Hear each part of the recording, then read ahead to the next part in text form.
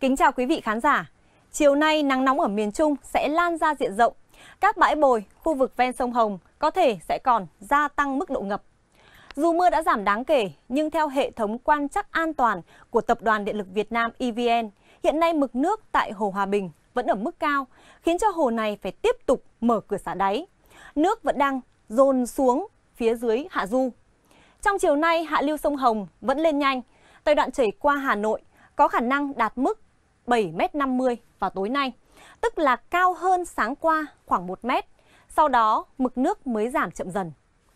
Như vậy, các vùng ven sông, các bãi bồi trên sông Hồng ở thành phố Hà Nội và tỉnh Hưng Yên sẽ tiếp tục ngập sâu thêm.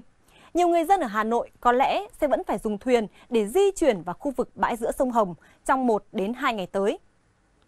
Với khu vực miền Bắc, chiều nay trời có nắng oi, nhiệt độ nhiều nơi từ 31 đến 34 độ.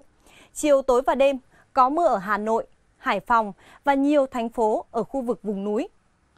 Tại miền Trung, ngoài Quảng Ngãi và Tuy Hòa thì chiều nay sẽ có thêm Vinh, Hà Tĩnh, Đồng Hới, Đông Hà, Huế và Đà Nẵng có nắng nóng với mức nhiệt cao từ 35 đến 37 độ.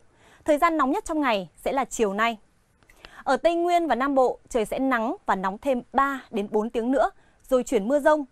Dự báo diện mưa ở mức dài rác, có nơi mưa lượng khá kèm cảnh báo về gió giật và lốc xét đi kèm. Chuyển sang thời tiết biển, hai huyện đảo Hoàng Sa và Trường Sa chiều nay có nắng, tầm nhìn xa trên 10 km, gió không quá cấp 4 và độ cao sóng là từ 2 m trở xuống. Kết thúc bản tin sẽ là dự báo thời tiết cho một số thành phố trong chiều và đêm nay.